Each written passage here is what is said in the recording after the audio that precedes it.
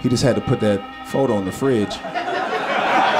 It, lit- it was like some Pavlov's dog shit. Like, whenever I saw that photo, I was like, oh my God. Oh my God. Is it gonna, is it gonna happen again? Rockner, this is not happening. I'm your host, Roy Wood Jr. Come with me. Did you know that nobody knows where cigar smoking even comes from?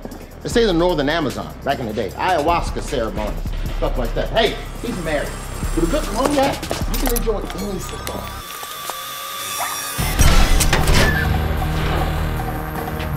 Oh no, you didn't. Oh no, you didn't.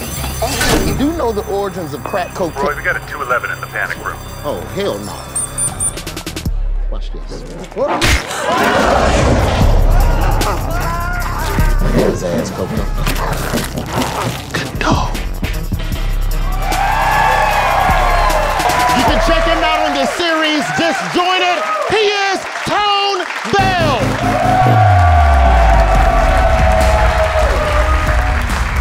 Months ago, a friend of mine called me. Called me, he had a question about being a father. My boy Derek calls me, my son's acting up in school, he's about to turn nine years old, and uh, timeout ain't working. And I've been thinking about, I've never, you know, I've never spanked him, never gave him whooping, but I'm, I don't know, man, it feels like timeout's not working. And he's like, you know, what do you think? You think, you think I should, you think I should spank him? I was like, man, I don't know if we're friends because um, I don't have kids, so. I've, I can't answer this question. I, I don't know. I don't know. But I did think about it. It made me think about it.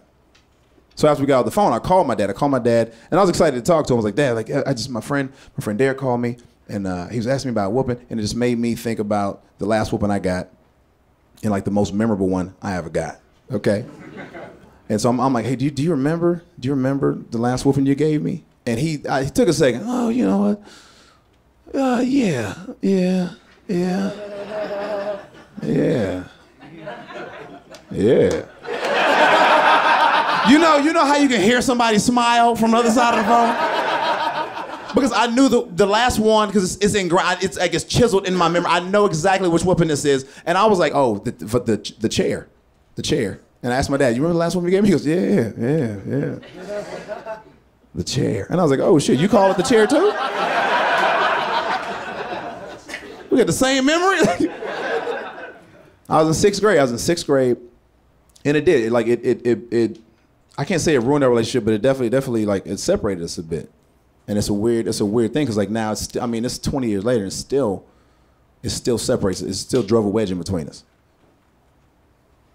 When I was 12, I was going to a new school, Allgood Elementary, Decatur, Georgia, and. uh I didn't know anybody. I was weird. I was like, I, I kind of was in this weird phase where like I was probably, I was just like I was husky. I wasn't chubby. I was husky, right? I was uncomfortable with the gap in my teeth. I felt like I didn't have right right haircut. I didn't. My parents couldn't afford like good clothes. So, like I was just like a. I had to be like some like jovial like nice kid because I didn't have I didn't have what other kids had. Okay, get to school. I'm in Miss Dillard's class. She's not even a cool teacher. The only thing about Miss Dillard's class that was good is this this girl that I, like I was in love with, Natasha. She's the only reason why I ever wanted to go to school. Beautiful. Even now, 30, 30 year old me's like, she was bad. but I had a huge crush on her. The class everybody wanted to be in was Miss Jefferson. Miss Jefferson, redhead, probably 25. She was a cool teacher. She was a math teacher. Miss Jefferson had this little system in, uh, in elementary school where uh, you know she had Jefferson Jefferson bucks in the Jefferson Bank. So like anytime you score like an A on a test, or you like open the door for a little girl, or uh, or did something nice. Anytime you're like cordial, did, did something nice, did something polite, you can earn a Jefferson buck. At the end of the week on Fridays, you can take your Jefferson bucks, buy candy, have extra you know extra time at recess or whatever you want to do. And so everybody everybody that you wanted to earn Jefferson bucks, okay. But I didn't have her every day. Only the homeroom class had her every day. So the homeroom class was balling out of control. Okay, the homeroom class. I mean, they, they had her all the time, so they're just making bucks after bucks. Okay, we, I'm like, I'm making three, four dollars a week. These motherfuckers rolling around with fur coats on, tossing keys, valeting they shit. I'm like, we 12. I mean, it was a class system. You could tell who was better than somebody else. It was like they lived in the capital and we were District 12. Okay, that's how. That's how it felt. And I was like, I was like, this is it's, it's enough. I can't, I can't take it. I can't take it. Like we're not getting enough. It's not fair. And so for weeks I devised this plan, and I was like, man, I need to rob the Jefferson Bank.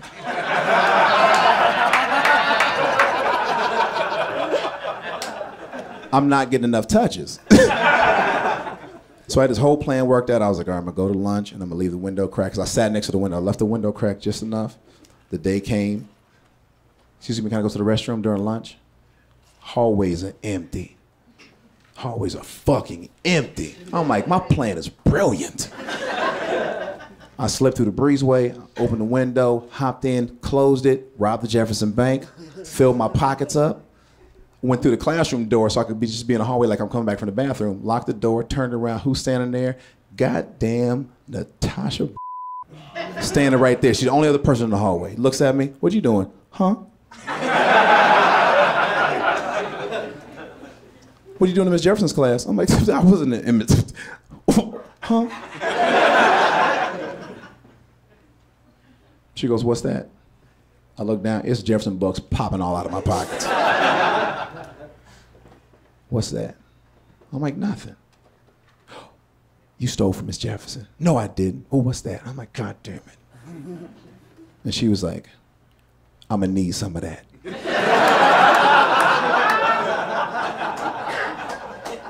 And I had to give it to her. I had to give, I had to give Natasha hush money. So I emptied my whole left pocket, just gave it to her. Hey, be quiet, okay? You didn't see nothing. Take the money and go. Go start a new life. You can do whatever you want to with this money. It's like, the, it's like that last scene and set it off. Just go away. By the end of the day, she had told everybody. Told everybody. She got in trouble. I got in trouble. They called my dad. It was about to be over. I remember like, oh, you know, that, that, that I, I knew the woman was coming. I knew it was coming. I knew it was coming. I decided to walk home. I was like, I'm gonna get some fresh air. It was about a mile and a half walk. I didn't take the bus. Everybody knew, so I didn't want to. I didn't want to get teased on the bus. And uh, I got home and I was like, you know what? If I got three hours left to live, I'm gonna just do whatever I want to do. And this is I'm 12 years old, so you gotta imagine like. I just went. I just, I just got like I got a bowl of ice cream. I went upstairs. I'm watching scramble porn and I jerked off. I mean, I beat my meat for hours. Okay eating ice cream, watching, and I remember I was watching Sexual Outlaws. That's the name of this. That's the,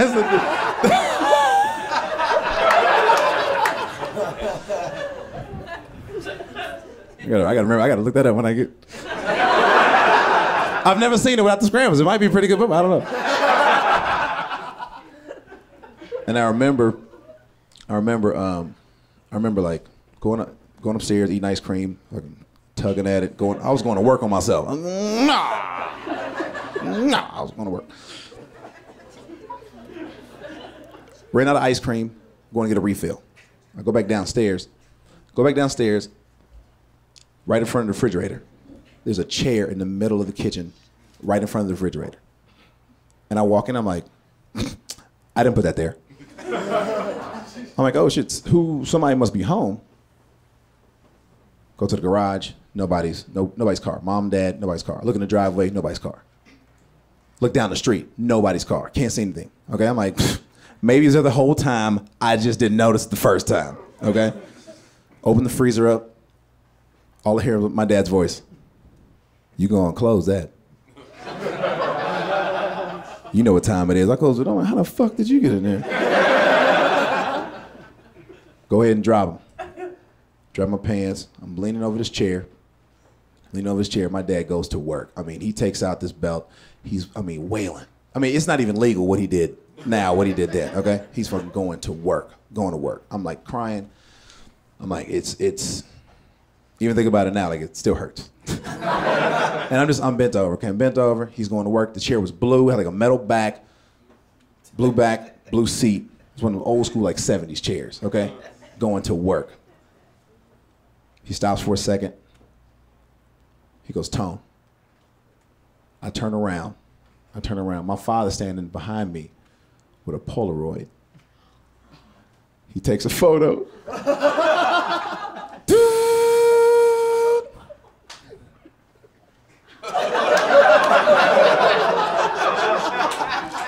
There's tears rolled down my face. My eyes are red. My dad was like, all right, all right, all right, all right. I was like, this no motherfucker, this motherfucker was pre-outcast. It was ridiculous. That's the last woman I ever got. Last woman I ever got. Because every time I got in trouble after that, he never touched me again. He just had to put that photo in the fridge. It, it was like some Pavlov's dog shit. Like, whenever I saw that photo, I was like, oh my God. Oh my God. Is it gonna, is it gonna happen again?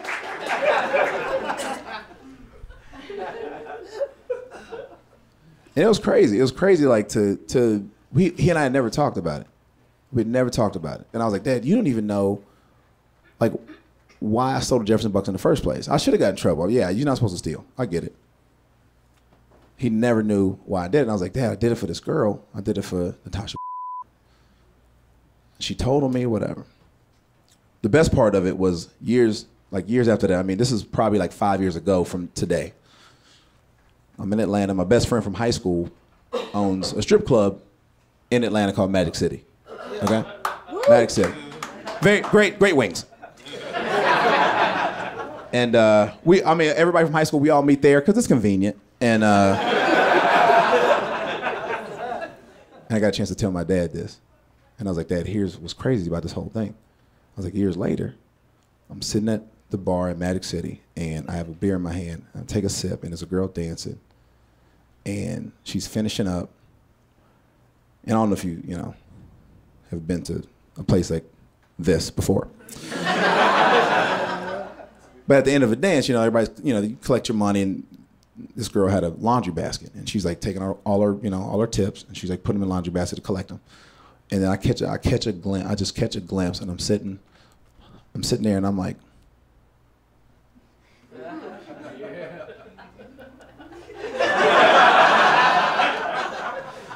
and I and I walk up, and she's like finishing up, and she goes, "Can I help you?" And I go,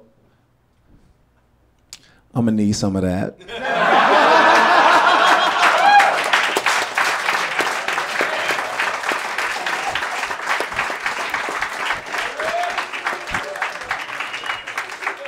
It took me 20 plus years, but I got that motherfucker back. You know what I mean? it was crazy. I'm trying to tell my dad this. I'm trying to tell my dad. And uh, I'm like, I'm like, yo, how crazy is that? How crazy is that? And he's like, huh? What? I was like, you didn't hear, you didn't hear none of that? And I, every time I talk to my dad, he always has me on speakerphone for some reason. He just talks to me on speakerphone, but I can hear shit in the background. He's like rummaging around. I'm like, what the fuck are you doing? And then he just goes, got it. I was like, what fuck? He goes, I found the photo. This whole time I'm trying to rekindle our relationship, you looking for the shit that broke us up? Uh, that's it, guys. My name is Tone Bell. Hey, Dad, I love you, man. I appreciate it.